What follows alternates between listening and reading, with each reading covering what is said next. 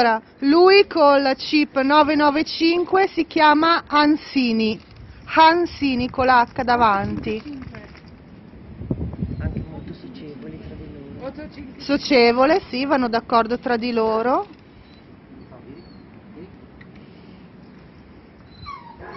È uscito festoso dal paddock. No amore, vuole le coccole.